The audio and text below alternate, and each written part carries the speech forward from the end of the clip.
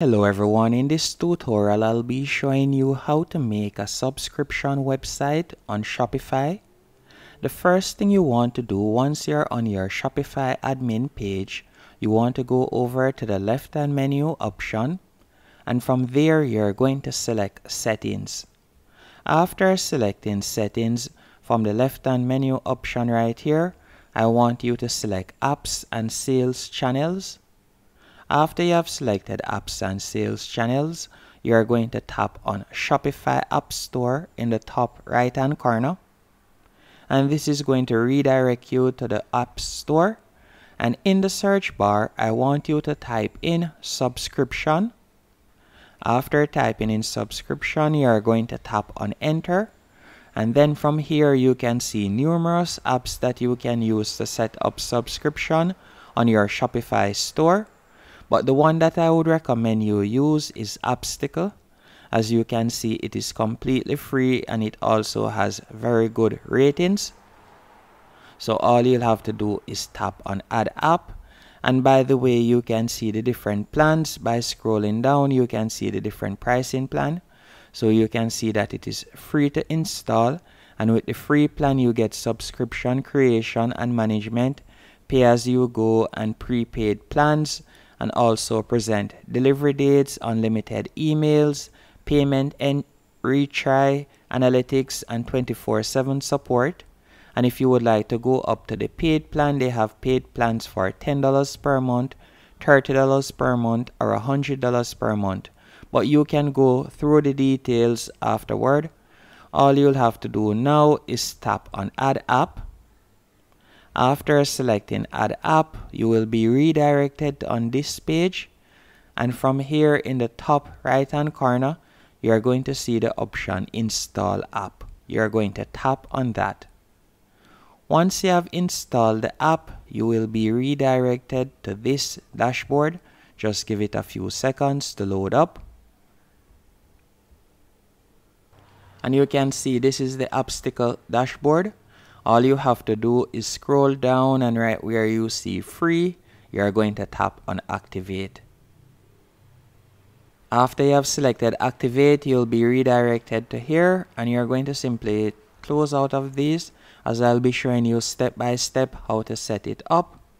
So you can see right here this is the dashboard and you can pay attention to the left hand menu option. You can see the dashboard analytics, customers, and subscriptions. And the first thing that we are going to be setting up is the subscription plans. So you want to tap on subscription plans right here. After selecting subscription plans, you can see welcome to subscription plan. This page will give you a quick drive through of all of the current available subscription plans in your store. And you are going to tap on create subscription plan in the top right hand corner. After doing that, you're going to scroll down and from here, you're going to select the products that you would like to add on a subscription plan. So if you don't have any products added as yet, you're going to go over to the top left hand menu option and right where you see products, you can simply right click. After right clicking, you'll be redirected to the product page and if you would like to add a product all you have to do is tap on add product. Product all you'll have to do from here you can add the title and you'll be able to add the description and you can also add an image if you want. And by the way you can scroll down and you can set up where the inventory will be stored and all of that.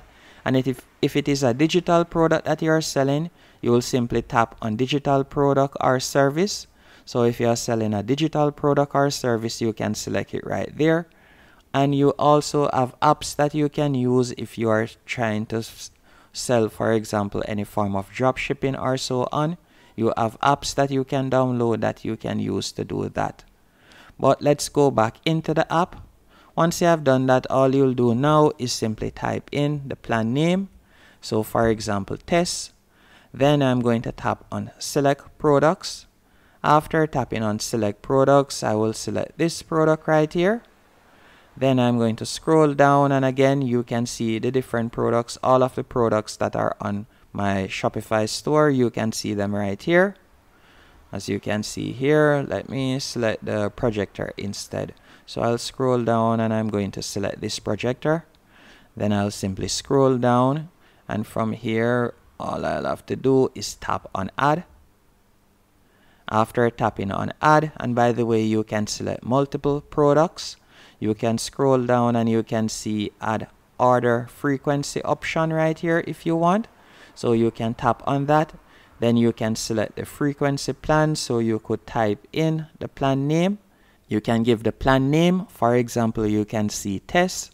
Then the plan type you can see three different plan type you can see pay as you go prepaid one time and prepaid auto renew pay pay as you go would mean that the person will automatically receive the subscription and you will automatically deduct the money from their credit card or so on without them having to do anything. Prepaid one time would mean that this is a one time subscription offer, and prepaid auto renew would mean that they would have to automatically renew it. They would have to select auto renew. But pay as you go, you can select pay as you go right there. Then you can see frequency plan description, and from there you can type in the description and you can see auto order frequency and from here you can select the order frequency so let's say for example you want the auto frequency to be one or two you can select that. So every two days or if you would like it to be every month you can select every month or you can select every week. So let's say for example every two weeks then you'll see offer discount for subscription. You can also offer discount as this will help persons or better yet intrigue persons to want to subscribe even more. So let's say they get a 5% off or if you would like to offer cash off you can simply tap right where you see percent off and you could select amount off if you want. And after you have done this you can scroll down and you can see show advanced settings right here. And you can see the advanced settings but for that you would have to be on a paid plan. Once you're finished all you'll have to do is tap on save.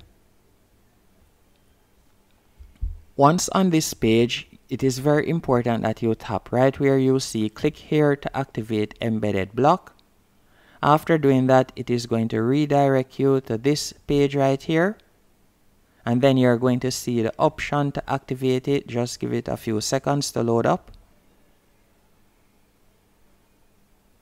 And you can see right here we'll simply toggle this on right beside Appstle subscriptions then you're going to tap on save in the top right hand corner now that you have activated it all you'll have to do now you could simply go into products and you can now see how it looks so let me go over to the left hand menu option.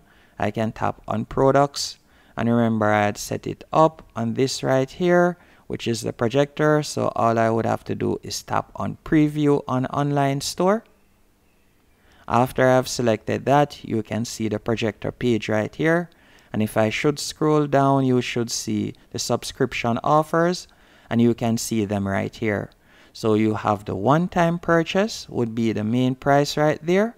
And if they want to subscribe, they could simply tap on subscribe and save. And you can see the subscription price right there. Remember for the subscription, I had offered a 5% discount. As you can see, the discount applied right here. So that's why the price is a bit more affordable.